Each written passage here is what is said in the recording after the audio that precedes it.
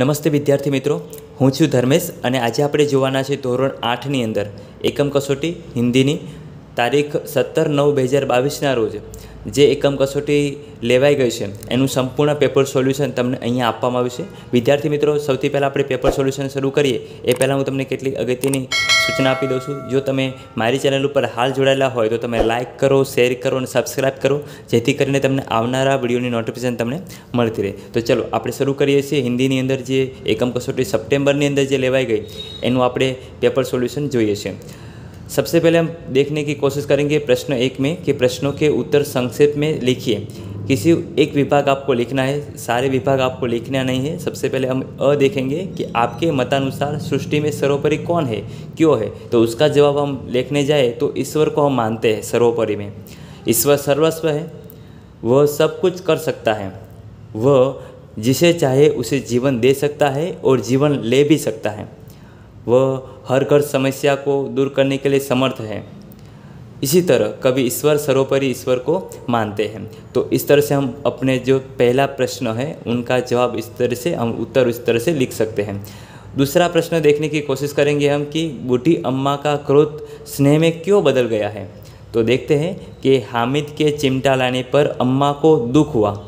उसे हामिद की ना समझी पर क्रोध भी आया।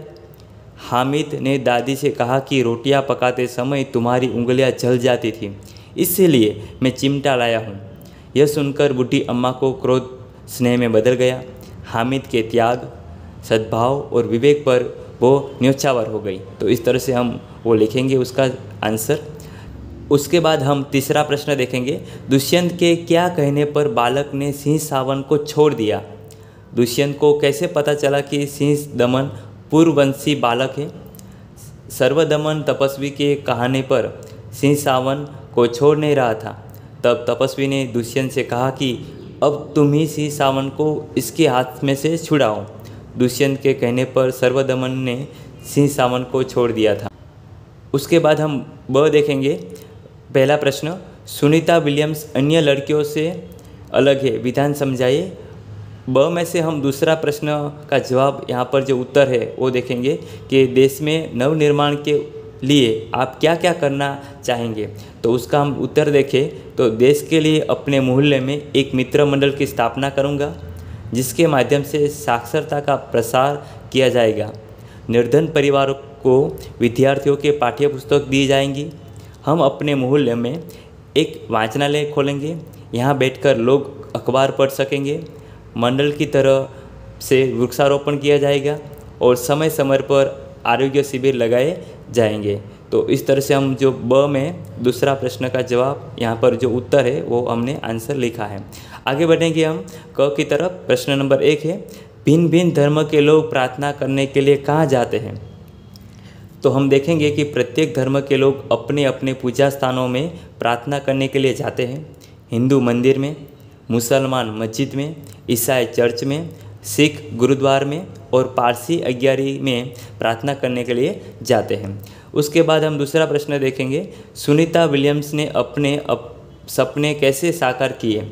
तो सुनीता ने अपने सपने कैसे साकार किए वो हम देखेंगे। तो सुनीता को अंतरिक्ष में जाने की तीव्र इच्छा थी। वो पायलट बनने के बाद नासा जाने में सफल हुई। अंतरिक्ष का ज्ञान पाने के लिए उन्हें रूस रहना पड़ा। रूस मतलब जो रसिया है वहाँ पर रहना पड़ा। पूरी तैयारी के लिए नौ दिन पानी में भी रही। उनका प्रशिक्षण आठ साल में ख़त्म हुआ। बाद में डिस्कवरी मिशन में शामिल भी हुई और 10 सितंबर 2007 को अटलांटिस अंतरिक्ष यान में स्पेस स्टेशन पहुँची। इस प्रकार सुनीता ने अपने सपने साकार किए। उसके बाद हम प्रश्न देखेंगे। तीसरा प्रश्न, भरत एकांकी में आपको कौन सा पात्र अच्छा लगा? क्यों? तो सबसे पहले हम देखेंगे तो भरत एकांकी में आपको सर्वदमन पात्र अच्छा लगा। तो हम यहाँ पर लिखेंगे, हमको सर्वदमन पात्र अच्छा लगा। आपको नहीं लिखेंगे? हम लिखेंगे कि हमको सर्वदमन पात्र अच्छा लगा। क्यों लगा? तो हम देखेंगे कि सर्वदमन असाधारण बालक है। आश्रम की तपस्विनियों से सिंह सावन को छोड़ देने के लिए समझा है, पर वो उनकी बात नहीं मानता। दुष्यंत से वो जरा भी परिचित नहीं है। फिर भी वो उनके कहने पर सिंह सावन को छोड़ देता है। उसकी सूरत भी दुष्यंत की सूरत से मिलती है। अपराजित नामक रक्षा सूत्र भी प्रमाणित कर देता है कि सर्वदमन दुष्यंत का ही पुत्र है। इस बालक का पिता और पुत्र दोनों एक दूसरे से अनजान हैं। फिर भी उन्हें बीच पिता, पुत्र जैसी भावधारा बहने लगी। ओके तो इस तरह से हम उनका पात्र का हम लिखेंगे यहाँ पर। इसके बाद हम ड की तरफ़ आगे बढ़ेंगे। पहला प्रश्न, उठो धरा के अमन सपूतों, कविता में कौन सी बातें हैं जिन्हें तुम अपने जीवन उतारना चाहोगे? तो हम देखेंगे कि मैं अपने देश को चाहूँगा, मैं सारे देशवासियों को अपना मानूँगा मतलब सारे देशवासियों को अपना मानूँगा। मैं अपने लिए नहीं, बल्कि देश के लिए जीऊँगा। मैं मन लगा कर पढ़ूँगा और अपने ज्ञान का देश की सेवा में उपयोग करूँगा। मैं ऐसे काम करने के देश का गौरव बढ़ाऊँगा, मैं देश की रक्षा के लिए कभी पीछे नहीं हटूँगा। तो इस तरह से हम लिखेंगे। उसके बाद हम दूसरा प्रश्न देखेंगे।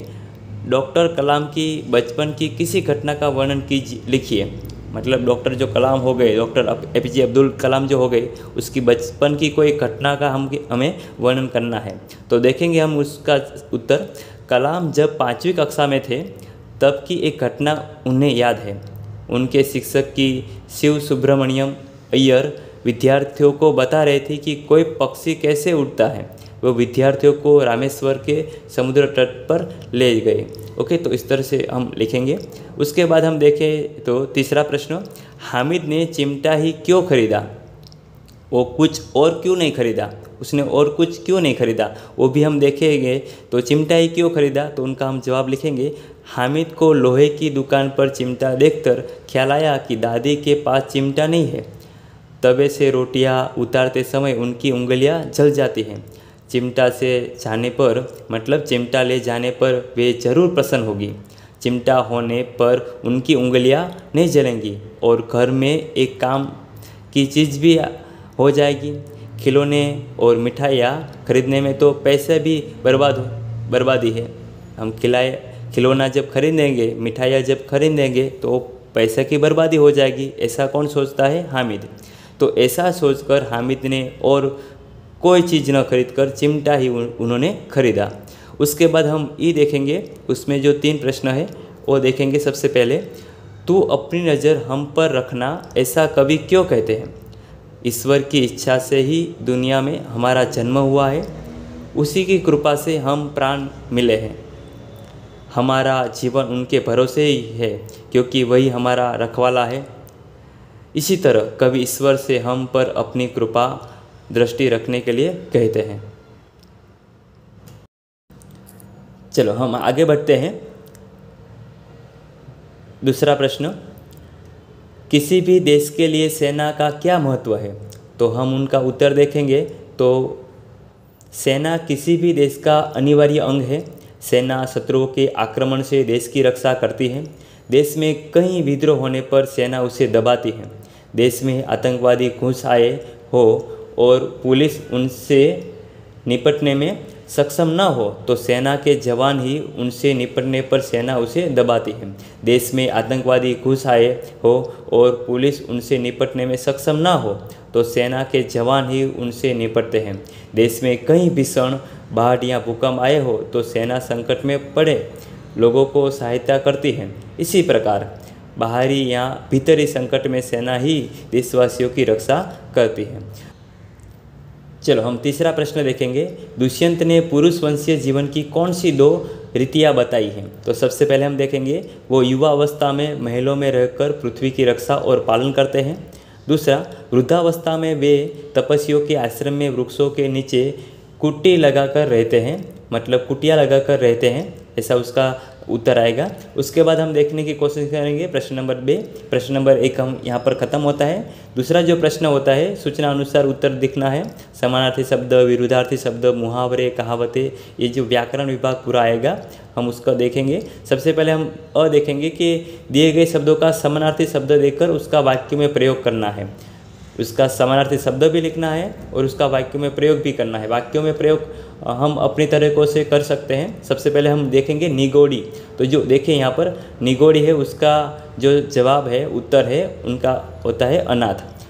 दूसरा देखें तो शीतल, उसमें गर्म होता है और गले मिलना, उनका जो उत्तर है, प्रेम से भेंटना है। ओके तो इसमें तीन दिए गए हैं और तीनों का जवाब उत्तर है, वो यहाँ पर दिया गया है। आगे हम देखेंगे दूसरा प्रश्न। अब और क में। सबसे पहले इसमें दिया गया है कि समानार्थी शब्द देकर उसका वाक्य में प्रयोग कीजिए। तो पृथक है, पृथक का जो आंसर होगा वो अलग होगा। समानार्थी शब्द देकर उसके वाक्य में प्रयोग भी करना है। दिए गए शब्द में विरुद्धार्थी शब्द देखकर उसका वाक्य में प्रयोग करना है, समझ। तो उसका जो उत्तर आएगा वो ना समझ आएगा। क देखे हम, दिए गए मुहावरे का अर्थ देखकर उसका वाक्य में प्रयोग करना है। बा बा का न होना। तो उनका जो हम उत्तर देखेंगे जरा भी नुकसान न होना। उसके बाद हम आगे बढ़ेंगे, तीसरा। तीसरा में अ देखेंगे, आपदा, उसका जो उत्तर है, समानार्थी, उसका हम देखें तो विपत्ति होगी। उसके बाद ब में देखें तो अवनति तो अवनति में होगी उन्नति। उन्नति में उसमें क्या करना है? विरुद्धार्थी शब्द देकर उसका वाक्य में प्रयोग करना है। उसके बाद हम देखें तो सर ऊँचा होना तो उसका अर्थ होगा गर्व होना मतलब मुहावरे का अर्थ देकर वाक्य में प्रयोग करना है तो इस तरह से आप लिख सकते हैं। और वाक्यों के जो प्रयोग है, वो अपने आप बना सकते हैं। उसके बाद जो चौथा प्रश्न है, वो हम देखेंगे, देखने की कोशिश करें तो सबसे पहले अ आएगा, ऋण है तो उसका जो समानार्थी शब्द देखकर उसका प्रयोग करना है तो समानार्थी प्रश्न होगा, देवु। उसके बाद आश्रित तो अनाश्रित, और उसके बाद एक सूत्र में परोना तो सबको साथ में रखना, जो यहाँ पर दिए गए हैं, उनके आंसर यहाँ पर हमने लिखे। उसके बाद हम पांचवा प्रश्न देखेंगे। अ में आएगा बिसात तो उसका जो उत्तर है, वो औकात आएगी। उसके बाद ब देखे दिन तो विरुद्धार्थी शब्द लिखना है मतलब रात होगी। उसके बाद क देखे तो बेड़ा पार लगाना, उसका जो उत्तर है, संकट से बचना। हम आगे बैठेंगे। प्रश्न नंबर तीन की तरफ़ निम्नलिखित एक वचन वाक्यों को बहुवचन में परिवर्तित कीजिए। मतलब जो एक वचन है यहाँ पर उसको हम बहुवचन में देखने की कोशिश करेंगे उनका हम उत्तर देखेंगे। किसी एक विभाग का आपको लिखना था जो चार मार्क का उसका आ, मार्किंग था। अब सबसे पहले हम पहले देखें तो सबसे पहले यहाँ लिखा है मुझे लुटेरे का डर था। तो हमें लुटेरों का डर था। यहाँ मुझे की जगह पर हमें आ जाएगा और लुटेरे की जगह पर लुटेरे का आ जाएगा, लुटेरों का। ओके, उसके बाद लिखा है, पक्षी ने उड़ान भरी। तो पक्षियों ने उड़ान भरी, क्योंकि बहुवचन एक के साथ काफ़ी सारे पक्षी हैं, इसलिए पक्षियों ने उड़ान भरी। उसके बाद तीसरा प्रश्न देखेंगे, उसने मुझे मिठाई दी। तो यहाँ पर उसका उत्तर है, उन्होंने हमें मिठाई दी, उन्होंने हमें मिठाई दी। उसके बाद हम देखें तो मैंने कविता लिखी तो हमने कविताएँ लिखी। यहाँ पर मैंने है तो उसकी जगह पर आ जाएगा, हमने कविताएँ लिखी। उसके बाद हम ब देखेंगे। पहला, यह मेरी किताब है तो यह हमारी किताबें है। यह हमारी किताबें है, ऐसा उसका उत्तर रहेगा। दूसरा देखेंगे हम, इसे लड्डू दे दो। इससे लड्डू दे दो तो इससे लड्डुए दे दो, लड्डुए दे दो, ऐसा उसका उत्तर आएगा। तीसरा प्रश्न, सेठ ने नौकर से पूछताछ की तो सेठ की जगह पर हम क्या लिखेंगे? सेठ ने नौकरों से पूछताछ की, नौकरों से, ओके, काफ़ी सारे नौकरों से पूछताछ की, ऐसा। कौवा उड़ गया कौवा उड़ गया तो कौवे उड़ गए। काफ़ी सारे जो कौवे हैं, वो उड़ गए। ऐसे कौवे उड़ गए, ऐसा हम लिखेंगे उसमें। उसके बाद हम देखेंगे क, तोता पिंजरे के अंदर बैठा है। तो तोते पिंजरे के अंदर बैठे हैं। बैठा है तो यहाँ पर बैठे हैं। ऐसा हम लिखेंगे। दूसरा प्रश्न, यह कार्य मुझसे नहीं हो सकेगा। तो उसका हम उत्तर देखेंगे तो यह कार्य हमसे नहीं हो सकेगा। ओके? ऐसा लिखेंगे, मैं स्वयं चला जाऊँगा तो उसका उत्तर देखें, हम स्वयं चले जाएँगे। चौथा प्रश्न, जंगल में हाथी ने उत्पात मचाया तो जंगल में हाथियों ने उत्पात मचाया, हाथियों ने उत्पात मचाया। मतलब ऐसा हम बहुवचन में लिखेंगे। उसके बाद हम देखने की कोशिश करेंगे, ड, उसका एक देखेंगे, दृश्य देखने के लिए घर का दरवाज़ा खुल गया तो दृश्य देखने के लिए घर के दरवाजे खुल गए। घर के जो दरवाजे हैं वो सारे खुल गए, ऐसा। दूसरा प्रश्न देखेंगे, यह किताब किसकी है? तो यह किताबें किसकी है? मतलब यहाँ पर किताब की जगह पर क्या आ जाएगा? किताबें। ओके? उसके बाद देखेंगे कि दरवाज़ा खोलकर तुम अंदर आ सकते हो। तो दरवाजे खोलकर आप अंदर आ सकते हो। उसके बाद चौथा प्रश्न इसने मेरी एक ना मानी तो उन्होंने मेरी एक ना मानी। ओके तो इस तरह से हम लिखेंगे। यहाँ पर हम देखेंगे कि जो दूसरा प्रश्न है, यहाँ पर जो प्रश्नार्थ चिन्ह है, वो यहाँ पर प्रश्नार्थ चिन्ह आ जाएगा। वो आप एक बार देख लेना। उसके बाद हम आगे बढ़ेंगे कि वो खेत में फ़सल बो रहा है तो वो खेतों में फ़सलें बो रहा है। उससे मेरी बात अच्छी नहीं लगती। उससे मेरी बात अच्छी नहीं लगती तो उससे हमारी बातें अच्छी नहीं लगती। उसके बाद देखेंगे, मैंने कहानी की किताब खरीदी तो हमने कहानी की किताबें खरीदी। उसके बाद, यह पेंसिल अच्छी है? तो यह पेंसिलें अच्छी है। चलो, हम प्रश्न नंबर चार देखेंगे। रेखांकित शब्दों को लिंग बदलकर वाक्य फिर से लिखिए। किसी एक विभाग आपको लिखना पड़ेगा, और ये जो है, वो चार मार्क का रहेगा। चलो, हम सबसे पहले देखेंगे अविभाग वृक्ष के नीचे युवक खड़ा था तो उनका हम उत्तर देखें तो वृक्ष के नीचे युवती खड़ी थी। मतलब जो युवक है, उनकी जगह पर हम क्या लिखेंगे? युवती खड़ा था मतलब उनकी जगह पर हम खड़ी थी, ऐसा लिखेंगे। उसके बाद दूसरा देखेंगे, पंडितायन मिलने के लिए हमारे घर आई थी। तो पंडितायन की जगह पर हम क्या लिखेंगे? पंडित हमको मिलने के लिए घर आए थे। मिलने के लिए आया था मतलब कहाँ पर आया था? घर आए थे। तो ऐसा हमको लिखना है। मतलब यहाँ पर हम घर लिखेंगे कि पंडित हमको मिलने के लिए घर आया था। ओके, यहाँ पर घर हम मैंने नहीं लिखा है, आप लिख लेना। उसके बाद हम लिखेंगे, देखेंगे कि हिंद के महान सम्राट को कौन नहीं जानता। तो यह थोड़ा अटपटा था, इसलिए मैंने लिखा कि इनके महान साम्राज्य को कौन नहीं जानता, साम्राज्य को कौन नहीं जानता, वो अपने आप लिख सकते हो। ये हमारे गाँव की डॉक्टरनी है तो हम लिखेंगे, ये हमारे गाँव का डॉक्टर है। उसके बाद हम देखेंगे, ब, मालिन सुंदर मालाएँ बनाती है। मालिन सुंदर मालाएँ बनाती है। तो उनका हम उत्तर देखेंगे तो माली सुंदर मालाएँ बनाता है। जो मालिन तो मालिन की जगह पर माली आ जाएगा, ओके? दूसरा प्रश्न देखेंगे, सेठ ने नौकर को बुलाया? तो सेठ ने नौकरानी को बुलाया। उसकी सास बड़ी भाग्यवान है तो उसका ससुर बड़ा भाग्यवान है। चौथा प्रश्न, तुम किस स्कूल की छात्रा हो? तो हम लिखेंगे, तुम किस स्कूल के छात्र हो? क देखेंगे, हमारी अध्यापिका बहुत अच्छा पढ़ाती है तो हमारे अध्यापक बहुत अच्छा पढ़ाता है। साधु को भिक्षा देना हमारा धर्म है तो साध्वी को भिक्षा देना हमारा धर्म है। हमें सन्यासी से मिलकर खुशी हुई तो हमें सन्यासिनी से मिलकर खुशी हुई, जो सन्यासिनी से। ओके, हम ये इस तरह से लिखेंगे। इस मुल्क के ठाकुर को कौन नहीं पहचानता? तो इस मुल्क की ठकुराइन को कौन नहीं पहचानता? ठकुराइन आएगा यहाँ पर।